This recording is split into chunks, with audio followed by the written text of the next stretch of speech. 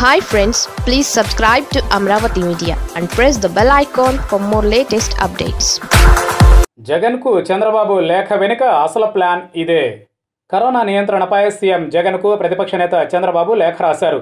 కరోనాతో ప్రపంచ దేశాలన్నీ తల్లడిల్లుతున్నాయని కేవలం లాక్డౌన్తో ఆశించిన ప్రయోజనాలు నెరవేరవని చెప్పారు. ప్రజారోగ్య చర్యలు యుద్ధ ప్రాతిపదికన చేపట్టాలని డిమాండ్ చేశారు. ఇప్పటికే విదేశాల నుంచి ఏపీలోకి పదిహేను వేల మంది వచ్చారని సమాచారం ఉందని పేర్కొన్నారు. వారందరికీ కట్టుదిట్టంగా క్వారంటైన్ అమలు చేయాలని అన్నారు. కరోనా సోకిన వారి కోసం ప్రత్యేక ఆసుపత్రి ఏర్పాటు చేయాలన్నారు.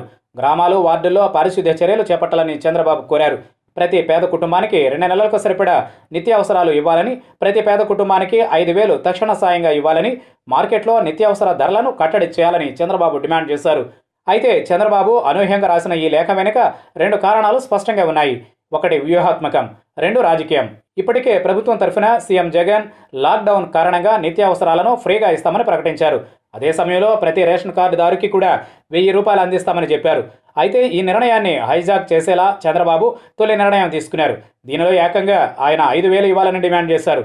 వాస్తవానికి ఆదాయం బాగున్న తెలంగాణలోనే పేదలకు పదిహేను వందల రూపాయలు ఇచ్చి సరిపెడుతున్నా అక్కడ అడగని చంద్రబాబు ఇప్పుడు మాత్రం ఐదు వేలు ఇవ్వాలని అంటున్నారు. ఇది వ్యూహాత్మకంగా ప్రభుత్వాన్ని ఇరుకున పెట్టడం. ఇక ఇంత కష్టకాలంలో ప్రజల తరఫున ఏదో ఒకటి తాను చేయాలి కాబట్టి ఈ లేఖ ద్వారా ఆయన సరిపెట్టడం రాజకీయ కోణం. అంటే ప్రజల కోసం ప్రతిపక్షంలో ఉన్నా కూడా తాను స్పందించానని ఉదారంగా నిధులు ఇవ్వాలని సూచించానని ఆయన రేపు చెప్పుకునేందుకు అవకాశం కల్పించుకున్నట్లయింది. మొత్తానికి జగన్కు చంద్రబాబు లేఖ వెనుక వ్యూహం ప్లస్ రాజకీయం రెండూ ఉన్నాయని చెబుతున్నారు.